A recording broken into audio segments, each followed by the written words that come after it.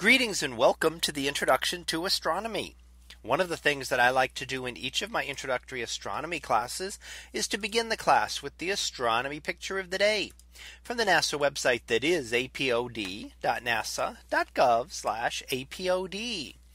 And today's picture for September 6th of 2021. Well, it is titled Firefly Milky Way over Russia. So what do we see here? Well, here is an image of our Milky Way galaxy stretching up grandly across the sky here. And in the foreground, you can see a firefly that happened to join the image. Now it's just a single fire firefly and you can watch the path that it took. And remember that images like this are often taken over extended periods of time. You know that our eyes never pick up this much detail in the Milky Way or in the sky. So the camera lens is left open for a longer period of time to collect more light and allow fainter objects to be seen.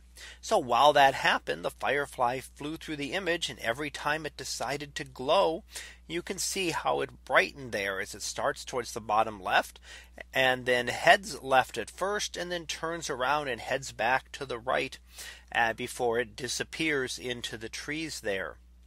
So we get to see our firefly there. And if you don't see it well, the image is annotated for you. And we can show there is our firefly loaded located down there. Now up in the sky, as I mentioned, we see our Milky Way. And that is our spiral galaxy as we see it from within. And we see the star clouds, the brighter areas, and the dark dust clouds blotting out material from behind it. Just up above the Milky Way, we see the trail of a satellite that also happened to come through the image while this was being taken. Many satellites in orbit. So we tend to see a lot of satellite trails will come up and they are getting more and more prevalent and in some ways causing more trouble for astronomers as there are more satellites out there to have to watch out for. Now we also see a a couple of other objects. And what are we looking at here? Well, we see the uh, the star Altair, one of the brighter stars in the summer sky, and in fact, part of what we call the summer triangle. It is the southernmost star in the summer triangle, which also includes Vega and Deneb.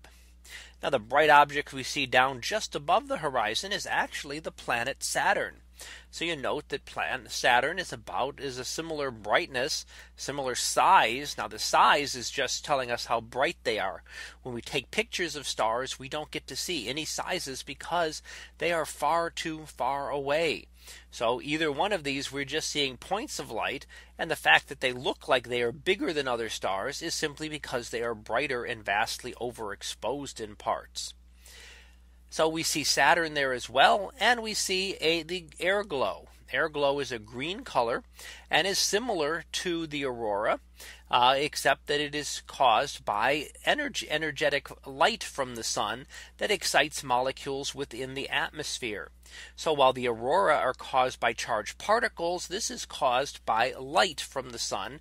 And in fact, higher intensity light that excites the molecules in the atmosphere and gives off this distinct glow. Now that means that the air glow can actually be seen from any location and is not just concentrated at more northerly or southerly latitudes like the aurora. So that was our picture of the day for September 6th of 2021. It was titled Firefly Milky Way over Russia. We'll be back again tomorrow for the next picture previewed to be colliding galaxies. So we'll see what that is about tomorrow. And until then, have a great day, everyone, and I will see you in class.